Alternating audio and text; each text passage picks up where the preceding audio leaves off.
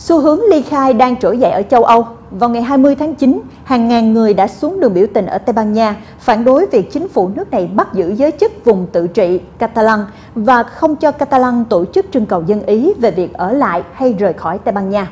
Hôm thứ Tư, 19 tháng 9, Thủ tướng Tây Ban Nha ông Mariano Rajoy đã bảo vệ quan điểm về việc bắt giữ hàng chục giới chức chính quyền Catalan, ngay trước khi vùng tự trị này tổ chức trưng cầu dân Ý về việc ở lại hay rời khỏi Tây Ban Nha.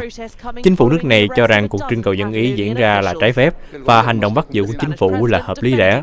Phản đối quan điểm này, hàng ngàn người đã xuống đường biểu tình, yêu cầu vẫn tổ chức trưng cầu dân Ý vào ngày 1 tháng 10. Chính phủ đang bắt giữ những người Catalan vốn đã được bầu cử để giữ vị trí lãnh đạo. Chúng tôi yêu cầu cầu chính phủ rút tay ra khỏi quyền tự trị của Catalan. Chính phủ cần biết rằng, mỗi người mà họ bắt giữ đều có uy tín trong cộng đồng và có thể tác động đến các cử tri, những người đã bầu ông Rajoy làm thủ tướng.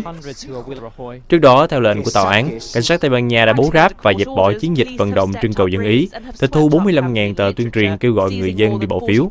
Chính phủ Tây Ban Nha cho rằng cuộc bỏ phiếu này là vi hiến. Tuy nhiên, cũng đã xuất hiện những hành động được cho là vừa đấm vừa xoa khi Thủ tướng Rajoy đề nghị cấp quỹ hoạt động cho chính quyền Catalan nếu rút khỏi cuộc trưng cầu dân Ý.